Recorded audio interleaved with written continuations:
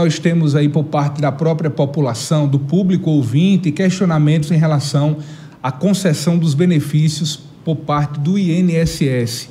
Nós sabemos, doutor Moisés, que existe uma fila né, ainda de uma demanda reprimida do INSS e as pessoas questionam: e aí, quando de fato vou ter acesso ao meu benefício? E o questionamento que eu lhe faria é justamente sobre a possibilidade da concessão do benefício, por exemplo, um auxílio doença ou um outro benefício via decisão judicial. O INSS implantou uma automatização, digamos assim, né, para que houvesse já uma concessão imediata. Tão logo houvesse a decisão judicial, aquele cidadão já tivesse acesso ao benefício. Aqui na nossa região, nós já temos essa possibilidade ou não? É, José Deus, boa pergunta, um tema bem atual. Quando você me convidava, eu disse a Diário do Sertão já parte na frente, porque é, isso é uma parceria que existiu desde 2019 entre o Conselho Nacional de Justiça e o próprio INSS, que é justamente a automação na, nos benefícios de auxílio-doença e aposentadoria por invalidez, por enquanto, esses dois benefícios é, na sua automação depois da decisão judicial. Porque o que é que acontece? Inclusive, o importante a gente tocar nesse tema, porque hoje mesmo eu tive um cliente que teve uma sentença numa aposentadoria por invalidez no dia 27 de agosto e o seu benefício ainda não foi implantado. E essa automação está querendo buscar corrigir esse erro, porque essa fila, que é o gargalo hoje do INSS, tem criado grandes problemas para a implantação. Mas, mediante a sua pergunta, a notícia triste é que essa parceria que existe ainda está em alguns tribunais. No caso, o TRF2, TRF3, o 4, o 6 e o TRF1 está em experimento ainda, num projeto piloto, e o nosso TRF5, que fica com a sede em Recife, infelizmente ainda não está adotando é, essa automação é, dos benefícios através da, do INSS, essa parceria do, é, do Conselho Nacional de Justiça e o próprio INSS. Doutor Moisés, e como facilitaria, né? A gente sabe Demais. da dificuldade que é o cidadão, que quando, e a gente costuma dizer de que quando alguém vai bater na porta do INSS é porque de fato está necessitando. Exatamente. E aí muitas das vezes espera-se meses, como esse caso, né, que você está dizendo aqui, de agosto, e até agora, novembro, não houve ainda né, a sinalização do pagamento. Então eu lhe pergunto, qual é o passo a passo hoje? Digamos que alguém está com algum problema de saúde, por exemplo, e necessite de um auxílio doença, ou enfrente uma doença há muito tempo, qual é o passo a passo que ela enfrenta hoje no INSS do ponto de, de, de vista da burocracia, digamos assim? Exato. O INSS tentou, nos últimos meses e anos, é, tentar diminuir essa fila, é, José Dias, do acesso do público, dos segurados. Eu costumo dizer é, nas palestras que ministro em alguns locais, que o auxílio doença não é um benefício do governo. Muita gente ainda tem esse mito, acha que é um benefício do governo para a população. Não. O INSS é um seguro que você paga, como você paga seguro de carro, é, seguro de vida. É um seguro que você paga todos os meses, por isso que chamamos, chamamos de segurado, para ter direito ao benefício quando está incapacitado, não é quando está doente quando está incapacitado de receber o benefício, é, buscar o seu direito. E justamente isso, devido à defasagem que existe hoje de peritos no próprio INSS, você tem noção, hoje você agenda uma perícia médica, já está caindo para abril ou maio de 2025. Você que está impossibilitado de trabalhar, entra numa fila para esperar. Criou-se o IT, que é o, o benefício por incapacidade temporária, através de atestado médico, ateste médico, que você coloca o atestado lá não passa por perícia, o atestado tem que estar em conformidade e, sendo concedido o benefício, você pode receber até durante 180 dias, que é correspondente a seis meses. Só que houve uma adesão muito grande para esses benefícios, José Dias, e hoje a gente já está vendo uma dificuldade maior. Eu protocolei um processo no dia 2 de outubro, e nós já estamos hoje a 12 de, de novembro e ainda não temos, mesmo na automação, o resultado desse benefício. Então, são mecanismos que estão sendo criados, mas ainda precisa muito ser aprimorado pelo INSS. Essa realidade que você nos traz aqui da nossa região, né, de todo esse passo a passo. Em relação, por exemplo, a esse auxílio doença, alguém que, por exemplo, impetra hoje um pedido de um auxílio doença, essa perícia, né, que é obrigatória, Obrigado. ela é agendada, digamos, para o mês de abril. Então, até lá, ele não recebe nenhum benefício. Nenhum benefício. Nenhum benefício. Então, digamos que em abril ele realiza essa perícia e essa, esse auxílio ele seja concedido. Ele recebe esses meses que ele não recebeu? Boa pergunta. Ou não?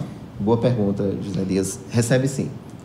Ainda para amenizar essa dor, é, o segurado ele recebe, que é o que a gente chama de DIB, data de início de benefício, que é justamente quando ele protocolou aquele benefício, ele vai retroagir para a data do requerimento.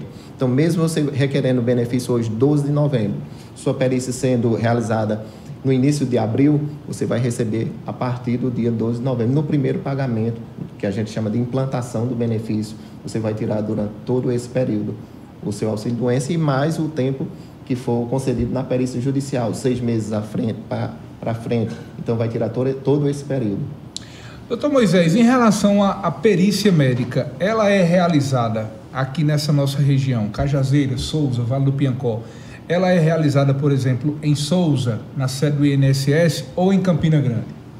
As perícias hoje, hoje aqui na agência de Cajazeiras nós contamos com perícia. Já realiza? Já realiza perícia no... no... Houve um tempo que não estava Isso, realizando. exatamente. Hoje a gente tem uma perita, somente uma perita. Souza está um pouco à frente, hoje Souza conta com três peritos no INSS de Souza, e que atendem essa região aqui predominante do sertão.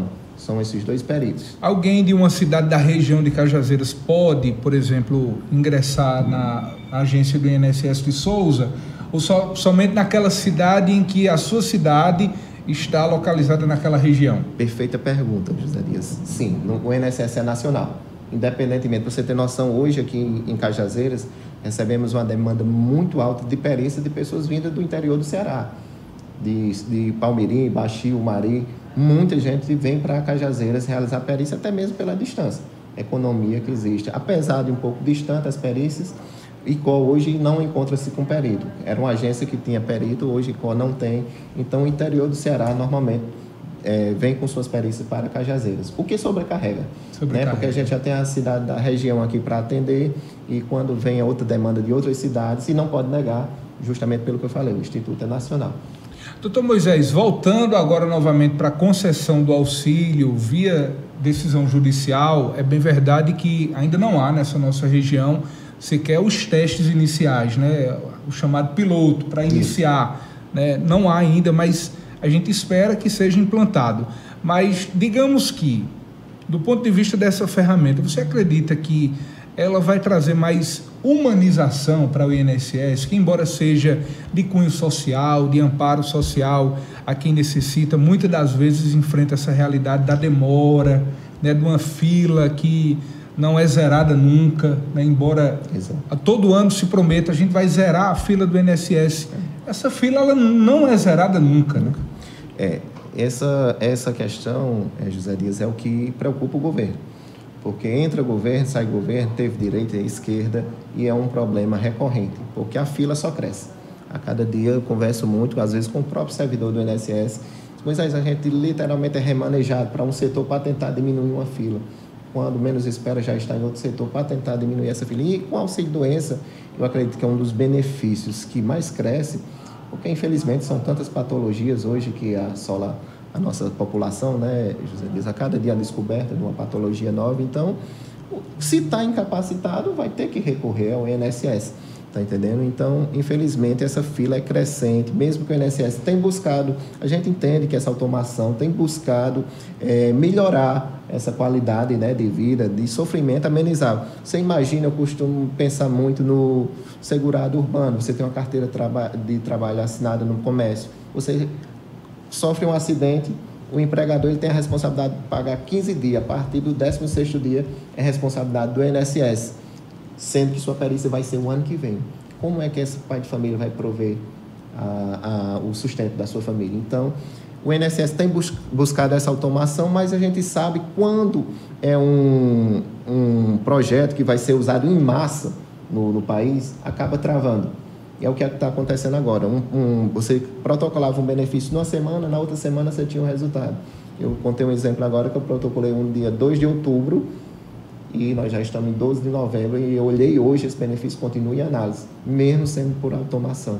Então a gente sabe que também é devido à demanda muito grande que existe. Há uma demanda ter. reprimida. E do ponto de vista do auxílio-doença, há de se levar em consideração também que nós estamos em um mundo pós-pandemia. Exato. Né? Pós-pandemia, muitas pessoas, por exemplo, não desenvolveram novos problemas de saúde, mas tiveram os problemas de saúde que já existiam agravados por conta da Covid-19. Né? Exatamente. Né? Então, esses agravantes eles são levados em consideração também, né? Exatamente. Então é sempre crescente. Você tem hoje uma doença que a gente recebe em grande número hoje nos, nos escritórios, todos os advogados, a hernia de disco. Trabalhador do campo, que se desgastou desde os 10 anos de idade trabalhando na, na, na lavoura, fazendo esforço, brocando, quando a gente chama no trabalho pesado da roça. Eu, eu tive uma audiência essa semana de um, de um jovem, 21 anos, que está praticamente é, só não está em cadeira de roda com a hérnia de disco. Está entendendo? Desgastou os discos da coluna. Então, existe essa demanda muito grande que assola a, a população, como você falou. As mulheres hoje, e nós temos em homens também, mas a mulher fibromialgia Sim. é uma doença em, em crescimento, em larga escala também. Então, tudo isso acarreta em requerimentos de benefício que deve ser analisado por perito, que é o que dificulta ainda mais essa escassez de peritos que existe é, Bonito Santa Fé não tem perito, tá entendendo? Hoje existe, você vê o INSS, o governo tem buscado todos os mecanismos. Hoje existe a perícia telepresencial. Você vai fazer as perícias no INSS, não tem um perito ali, você através numa, um vídeo, através de vídeo, é feita sua perícia com um perito de outra região para tentar diminuir essa fila. Mas, infelizmente, devido a tantas patologias, tantos requerimentos, essa fila acaba ainda sendo bem. E a lista das doenças que constam, inclusive, para conceder o auxílio, ela sofreu recentemente alteração, né? inclusão de novas doenças. Novas doenças, sempre surgindo novas doenças. Né? Isso é o que é preocupante. É, e a gente pensa, a gente está falando de auxílio doença, mas isso preocupa porque isso vai afetar lá na frente na aposentadoria, porque são benefícios que são pagos. Todo benefício ele vai ter que ser pago com o dinheiro da Previdência Social. E isso preocupa porque as doenças, as patologias não param de crescer. Está entendendo? E, consequentemente, os requerimentos. E isso nós estamos falando de auxílio-doença, que é para quem contribui, para o segurado. Mas, fora isso, inclusive, um colega nosso esteve aqui recentemente falando sobre o PPC, que é um benefício da assistência social, mas que é regido pelo INSS, que sai da assistência social, que também tem que atender aquela população que nunca contribuiu. Então, é uma preocupação muito grande. O governo, a gente sabe hoje, diz que o maior rombo que existe hoje no nosso é o da país Previdência. é o da Previdência. E é um ramo que não para de crescer, porque existe a demanda, existe a necessidade.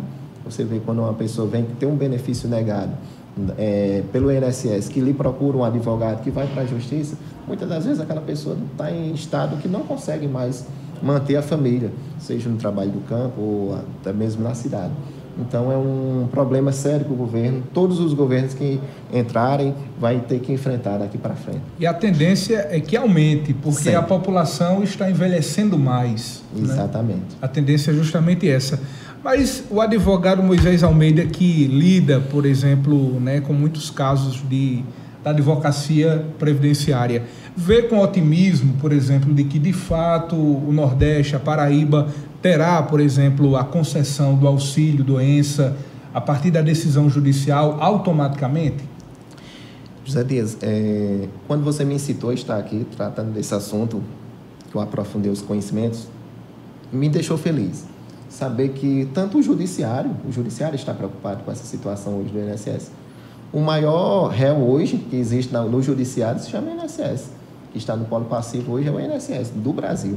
Então, o Judiciário, preocupado com essa demanda, buscou essa parceria, o Conselho Nacional de Justiça, justamente com o INSS, para agilizar essa demanda. Por exemplo, esse meu cliente que teve a sentença dele em, em agosto, se tivesse implantado esse benefício, com quatro horas o seu benefício já estava implantado no INSS. Que essa automação das decisões judiciais busca essa agilidade.